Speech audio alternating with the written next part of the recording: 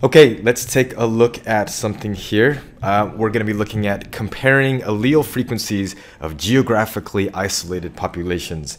It's a fancy way to say that if a group gets separated from the main crowd, um, because the group is smaller, things start to go kind of weird, and especially with allele frequencies. Uh, there's lots of examples of this. You've heard about inbreeding, right? It's not the most ideal thing, right? A group of a, a family goes off on their own and they decide only to have babies by themselves, and then over many genera- and many generations, you know, their daughters start having babies with their cousins, and they start developing weird traits and features and mutations become more common. It's basically the same concept here. If you have a smaller group that's been separated from the main group, this smaller group doesn't have such a wide variety of genes to choose from, and so the allele frequencies start shifting, or a better word is drifting away from the normal. Uh, so here we go. Geographically isolated populations often have different allele frequencies from the rest of the species. We'll see that the diagram, we'll see a diagram on the right here in a second. Uh, I don't know what this thing is.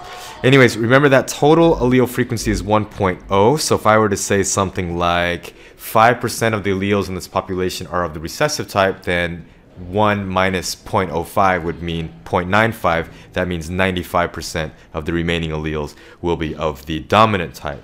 So here's an example. If you pretend, pretend that this circle represents the main population and the allele frequency here is 1%, um, for this particular gene. So it's a recessive allele. It's the allele that causes the disease cystic fibrosis. You'll learn about that in so many different ways. Anyways, it's the gene called delta F508 if you're interested in this example.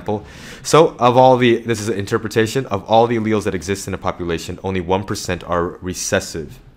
However, one group gets isolated, either from living up in the mountains or an, uh, an, earthquake separates a particular area, or a group moves off to an island and they don't tend to interact with very many, there's not much traveling in and out of this area here.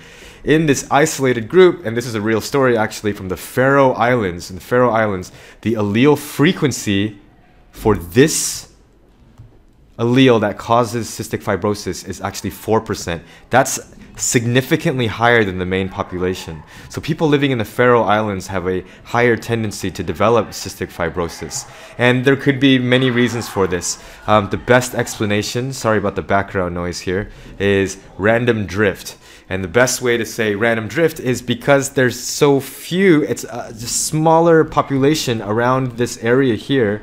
Um, different random behaviors now count more for contributing to the total uh, the total group's frequencies. So often they're just referred to as random changes in allele frequency. Some individuals just randomly produce more offspring, and that matters more when the group is small because that individual's contribution to that group is going to be much larger. So let's go back to the title, see if that made sense. Comparison of allele frequencies of geographically isolated populations. So in conclusion, geographically isolated groups like those of the Faroe Islands tend to have allele frequencies that are significantly different from the main population. And in a case of something like this, which is considered kind of a, a negatively affecting uh, allele, it can actually exacerbate problems. So other conclusion or bottom line is don't do inbreeding with your family.